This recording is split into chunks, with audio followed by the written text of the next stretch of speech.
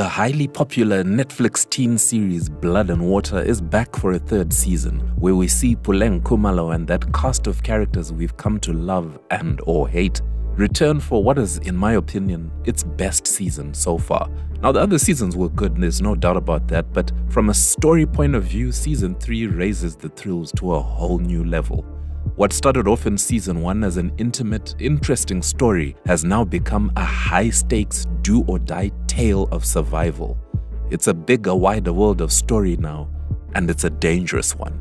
Personally, I was very curious after season 2 to see which way things would go because it felt like now that Puleng had reached her goal as far as figuring out the truth about Fikile, the story could potentially lose its way, but not so in season 3. In fact, my concerns were soothed so much that I can't wait to see what Gambit Productions have up their sleeve for next season.